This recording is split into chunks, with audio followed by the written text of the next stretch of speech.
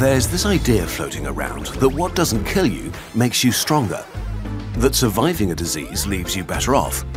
And it seems to make sense because we've all experienced this. When you go through hardship, often you come out more resilient, more ready to face a difficult situation in the future. But it turns out that sometimes what doesn't kill you makes you weaker. So what happens when you get sick?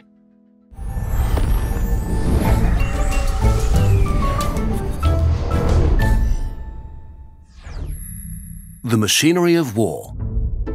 Think of yourself as a large country with a sizable army to defend it. You're surrounded by enemies that want to take your land, your energy, your resources. This is a matter of life and death, so your body evolved to be sensitive to damage and to the presence of enemies. Because this means that an invasion might happen at any moment and that it has to act fast. Let's start an invasion and see what happens. The moment your cells notice that something is off, they release an onslaught of signal proteins called cytokines. They're like air raid sirens that activate all sorts of immune cells that then themselves release many more cytokines, amplifying the alarm. Soon, you're flooded with signals that trigger precautions and countermeasures. Mobilization is underway.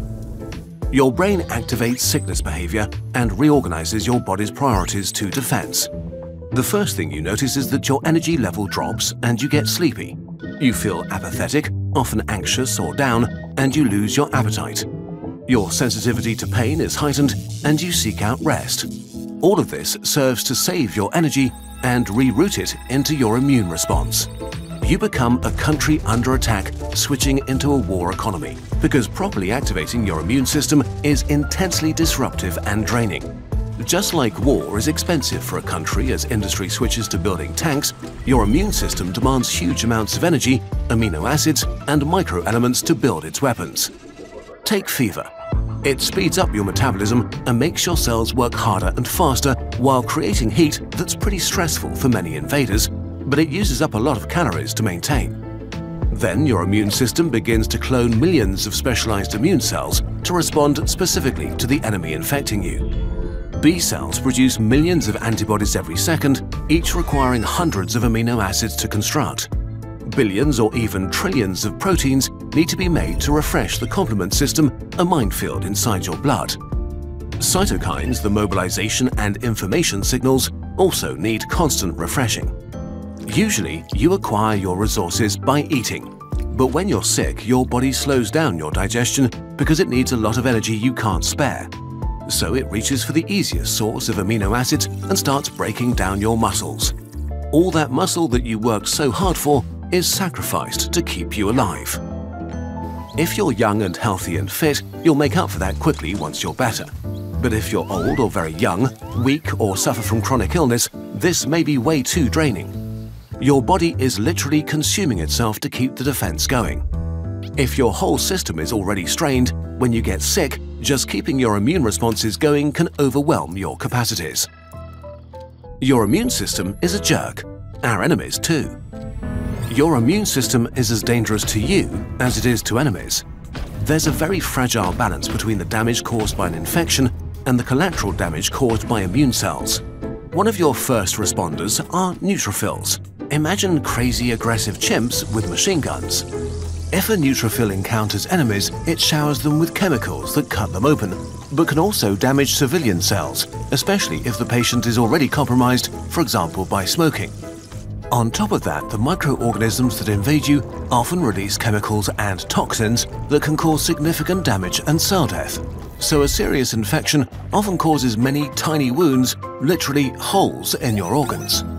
As you can imagine, it's not great to have holes and wounds in your organs, and your body rushes to close them. Your neutrophils and macrophages help by releasing chemicals that signal the body to start repairs, and most of the damage is quickly filled up with regrowing cells. But others are filled with collagen, a sort of fixal organic cement that gives your gooey tissue structural integrity. You've seen the result on your skin as scars. A scar is different from the original tissue. It has no functioning cells in it, it's like a sloppily applied cement patch. It can't do what the original tissue was doing. A scar on your heart makes it beat a tiny bit weaker. A scar on the lungs no longer captures oxygen. A scar on your liver makes it a worse filter. And so as you go through life and survive serious disease after serious disease, the functionality of your organs may decrease. The damage is usually small enough not to affect your quality of life, but can be permanent. Okay, this sounds depressing, but there is actually something you can do to avoid a lot of this damage and train your immune system. The best way to train your immune system. Your immune system is unique. Everyone has a slightly different immune system that's stronger against some enemies and weaker against others, which makes evolutionary sense as this protects our species from being wiped out by a single infection. Collectively, the immune system of the human species is a spectrum. Most people respond well enough to an infection, a few are super responders, and a few don't respond well and die. Some people survived the Black Death, are more resistant to HIV or coronavirus, or even resistant against Ebola. Others are killed easily by the flu or are highly vulnerable to certain bacterial infections. Where you are on this spectrum is impossible to predict, and you also respond differently to every possible infection. This is why seemingly very healthy young people died from COVID, while for some elderly people, it was more like a mild flu. The idea that you can weather all sorts of diseases if you never get a cold is wrong. You never know what your immune system is good at until it's tested. Getting sick is a gamble in life's casino with your health on the line. Always. But there is something you can do, hacking one of the best features of your immune system. When you survive a disease, usually you have better defenses against it afterwards. You gain memory cells that are very good at killing the specific enemy you fought that day so you either don't get the disease again or the next infection is much milder. And you can use an incredible achievement of human ingenuity that taps into this mechanism to prevent damage from disease and train your immune system. Vaccines. Vaccines basically pretend to be a disease and train your defenses to be ready if it ever shows up for real. The goal is to create the same memory cells that you would get after surviving an infection. But if you can feel some side effects, why should you still do it? Nature versus Vaccine Dojo. You have two options to train your immune system, Vaccine Dojo and Nature Dojo. In Vaccine Dojo, you train with paper weapons and learn to defend yourself. Sure, you might get a black eye or a bruise. Sometimes after a vaccine, you get sick for a few days, but that's generally it. No scars, no permanent damage. We discussed vaccine side effects in detail in another video if you want to learn more. On the other hand, getting a disease to become immune means going to a nature dojo. In Nature Dojo, you train with real weapons, sharp knives and swords. Things might still work out, but with way more cuts and wounds. But from time to time, someone will die, be it a kid from measles or an adult from influenza. Nature Dojo is just way more risky. On top of that, the immunity you get from a vaccine is often better than the natural resistance because they're engineered to engage your immune system in a more productive way. Of course, vaccines are not magic, and sometimes they don't protect us as well as we'd like them to. Maybe because an enemy mutates too quickly, like the Omicron coronavirus, or because your specific immune system does not respond well to the vaccine and builds less of a defense. Still, being vaccinated is one of the best tools to train your natural defenses. In the end, if we look at the stunning progress humanity has made in the last century, eventually we may overcome disease for good. But until then, we can do our best to take care of ourselves and others. Your body and your older self will be grateful to you. Diseases are not the only problem humanity can address if we work together. We believe the same is true for climate change, one of the main challenges of our generation. We're very passionate about this topic and we've covered it extensively in previous videos. Humanity needs to tackle this problem on different levels of society, from governments and economies down to the individual. And there's one way you can take action now by working with our friends from Wren, who help you offset your carbon emissions. By visiting Wren.co and answering a few questions, you can find out what your personal carbon footprint is. Your first step should be reducing your footprint, but there are limits to that.